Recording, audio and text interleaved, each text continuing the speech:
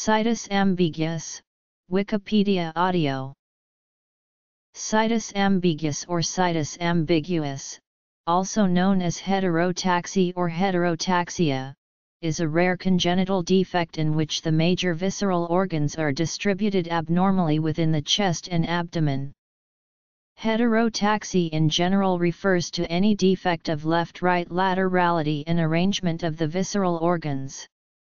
This does not include the congenital defect situs inversus, which results when arrangement of the organs in the abdomen and chest are mirrored, so the positions are opposite the normal placement. Situs inversus is the mirror image of situs solitus, which is normal asymmetric distribution of the abdominothoracic visceral organs.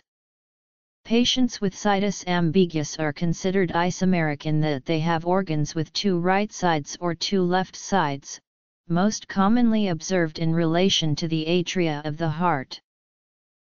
Individuals with situs inversus or situs solitus do not experience fatal dysfunction of their organ systems, as general anatomy and morphology of the abdominothoracic organ vessel systems are conserved. Due to abnormal arrangement of organs in situs ambiguus, orientation across the left-right axis of the body is disrupted early in fetal development, resulting in severely flawed cardiac development and function in 50-80% of cases. They also experience complications with systemic and pulmonary blood vessels, significant morbidity, and sometimes death. All patients with situs ambiguus lack lateralization and symmetry of organs in the abdominal and thoracic cavities and are clinically considered to have a form of heterotaxy syndrome. Heterotaxy syndrome with atrial isomerism occurs in 1 out of every 10,000 live births and is associated with approximately 3% of congenital heart disease cases. Additional estimation of incidence and prevalence of isomerism proves difficult due to failure to diagnose and underestimation of the disease by clinicians. Furthermore, right isomerism is much more easily recognized than left isomerism, contributing to the failure to diagnose. Signs and symptoms Situs ambiguus is a growing field of research with findings dating back to 1973. There are a variety of clinical manifestations of situs ambiguus. Acute symptoms can be due to both cardiac and non-cardiac defects. Cyanosis or blue skin coloration, primarily affecting the lips and fingernails, can indicate a systemic or circulatory issue. Poor feeding, failure to thrive, and rapid shallow breathing may also be observed due to poor circulation. Upon examination, arrhythmia and heart murmur may raise further suspicion of a cardiac abnormality. Non-cardiac symptoms include impairments of the liver and gastrointestinal tract. Biliary atresia, or inflammation, and destruction of the bile ducts, may lead to jaundice. Vomiting and swelling of the abdominal region are features that suggest improper positioning of the intestines. Poor positioning of the intestine also makes it more prone to blockage, which can result in numerous chronic health issues. Asplenia and polysplenia are also possible features of heterotaxy syndrome. Hyparterial bronchus supplies blood to the bilobed left lung, eparterial bronchus supplies blood to the trilobed right lung. Due to abnormal cardiac development, patients with situs ambiguus usually develop right atrial isomerism consisting of two bilaterally paired right atria, or left atrial isomerism consisting of two bilaterally paired left atria. Clinical features and symptoms can vary dependent upon assignment of left versus right atrial isomerism. In either instance, the apex of the heart will be poorly positioned, which should alert a clinician of the likelihood of atrial isomerism. It is estimated that 5 to 10% of isomeric patients have mesocardia, in which the heart is positioned at the center of the thorax, 25 to 50% have dextrocardia, in which the apex of the heart is pointed toward the right side of the thorax, and 50 to 70% have levocardia, in which the apex of the heart is pointed toward the left side of the thorax. Right atrial appendage isomerism, also called right atrial isomerism, is a cardiac development defect in which the heart has bilateral right atria and atrial attachments in the muscle wall, as opposed to the normal right atrium and left atrium. In right atrial isomerism, the pulmonary blood oxygen tract is damaged due to right-left shunting of blood. In addition, the atrial septum which distinguishes the two atria is absent. These impairments, in addition to congestion in the pulmonary tract, allows deoxygenated blood to mix with oxygenated blood, contributing to cyanosis and possible respiratory distress. Poor systemic circulation also results due to improper positioning of the aorta. Left atrial appendage isomerism, also called left atrial isomerism, is a cardiac development defect in which the heart has two bilateral left atria and atrial appendages in the muscle wall. Left atrial isomerism can have varied clinical manifestations, including a later onset of symptoms. Heart failure is often a concern because the inferior vena cava is disrupted due to the inappropriate morphology of the left ventricle to support the vena cava. Abnormal development of the heart results in impaired doubles of conductive nodes, as well as faulty electrical fibers throughout the ventricles. Individuals with right atrial isomerism develop two sinoatrial nodes, as they have two mirrored right atria, whereas those with left atrial isomerism fail to develop a sinus node at all. Thus, patients with left atrial isomerism are more likely to experience atrial fibrillation, or irregular rapid heartbeat, an abnormal heart rhythm, known as atrial flutter. Development of the atrioventricular node and bundle of His largely depends on physiological looping of the ventricles. Abnormal looping of the ventricles contributes to arrhythmia and heart block in fetuses. Isomerism of the bronchial tree is not typically damaging and presents no significant clinical complications. Pulmonary valve stenosis results in issues of blood flow to the lungs. Abdominal organs, including the liver, stomach, intestinal tract, and spleen may be randomly arranged throughout the left-right axis of the body. Distribution of these organs largely dictates treatment, clinical outcomes, and further evaluation. The liver is typically symmetrical across the left-right axis in patients with situs ambiguus, which is abnormal.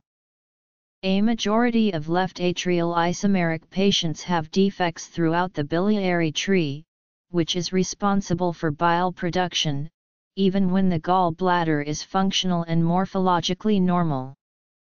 This biliary atresia can lead to acute problems such as nutrient malabsorption, pale stools, dark urine, and abdominal swelling.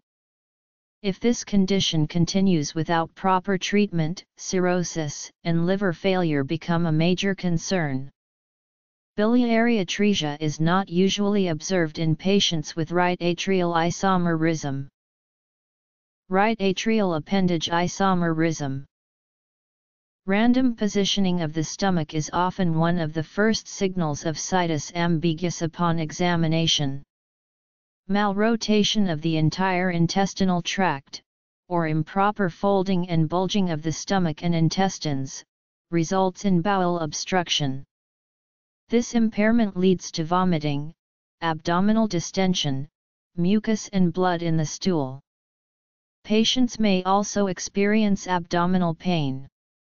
Intestinal malrotation is more commonly identified in patients with right atrial isomerism than in those with left atrial isomerism.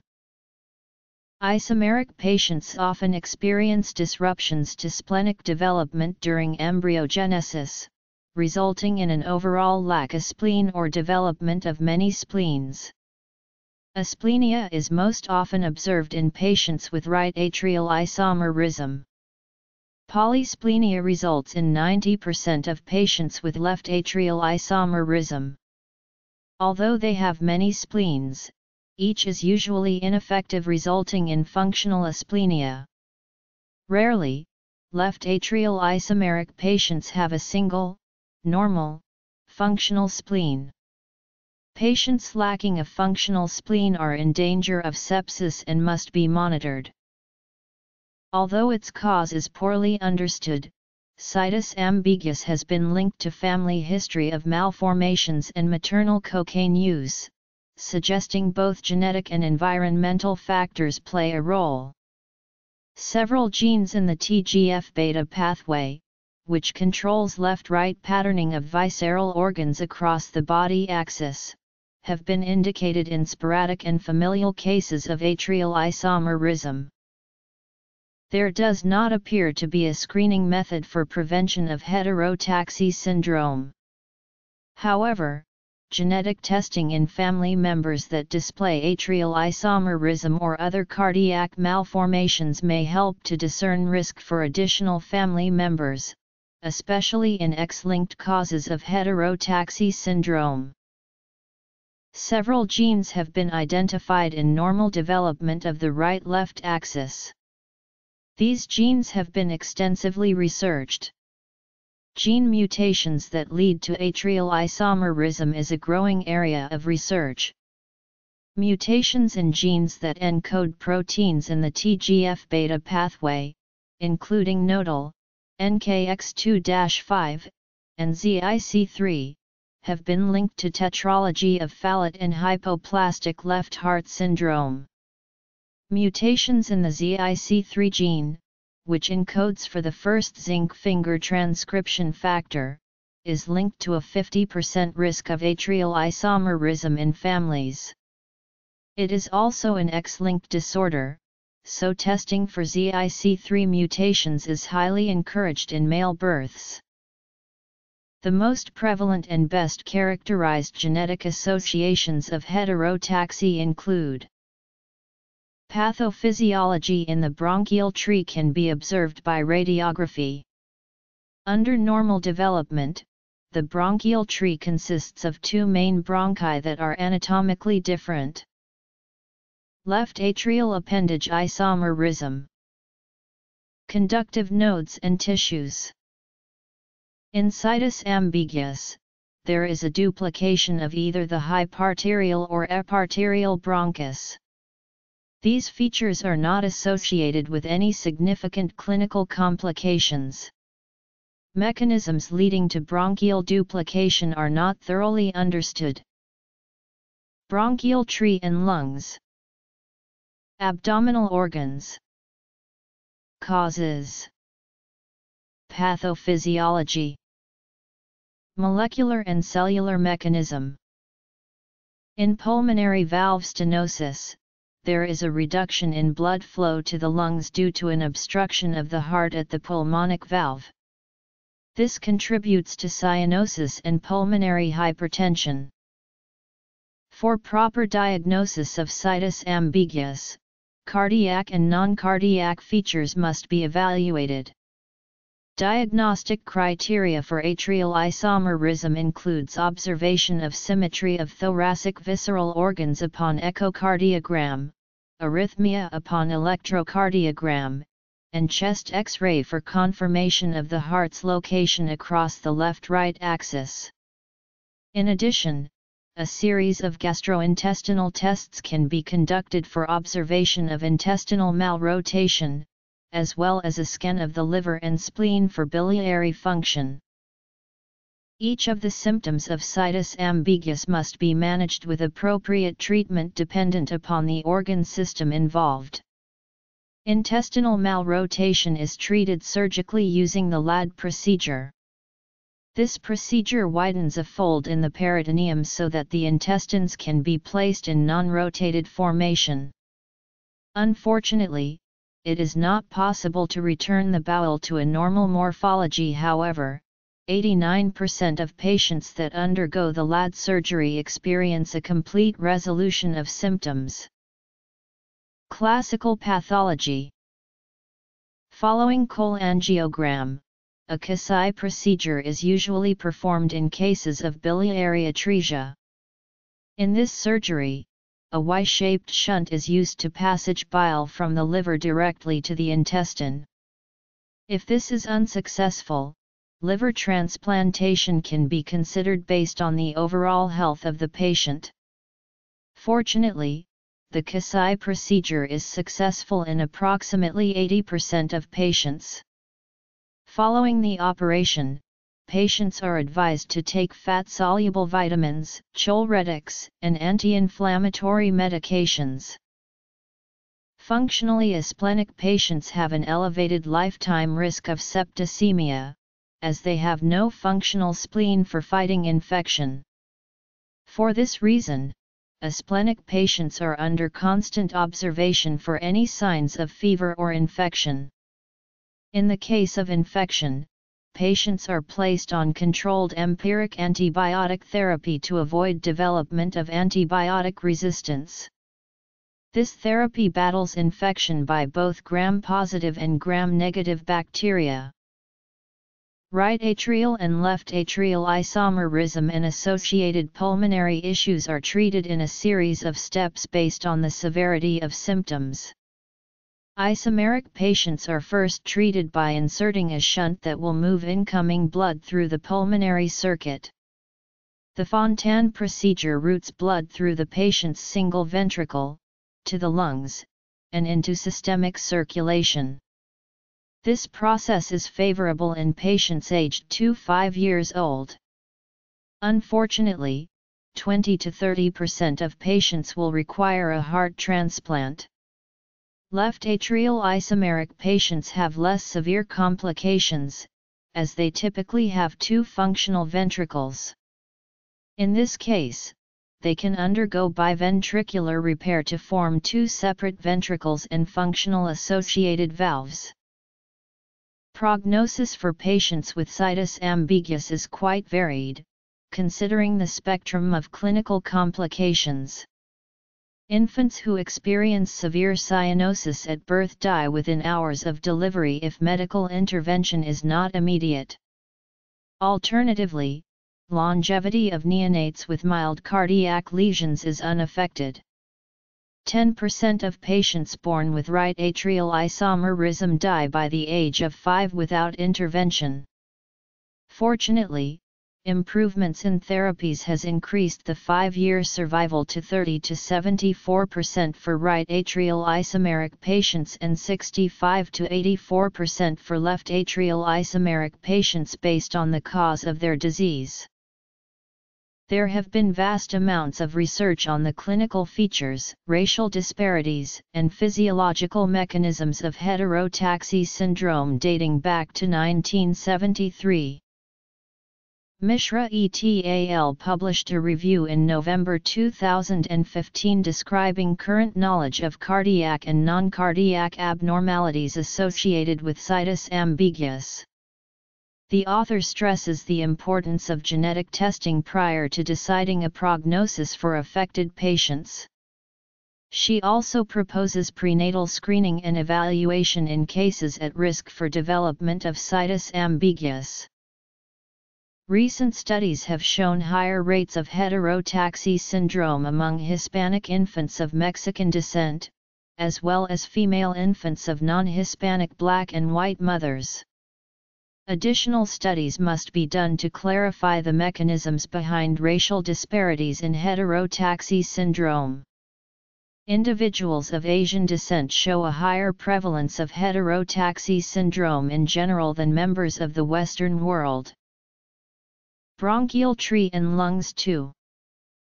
The National Birth Defects Prevention Study attempted to link clinical presentations of situs ambiguus to demographics in an epidemiological study. This proved a difficult task due to the vast differences in presentation of this disorder. However, the authors are hopeful that finding a link can help inform clinical decision making, predictive analyses, and future outcomes. Diagnosis Diagnostic techniques for cardiac causes. Diagnostic techniques for non-cardiac causes. Other diagnostic features. Management and prognosis. Research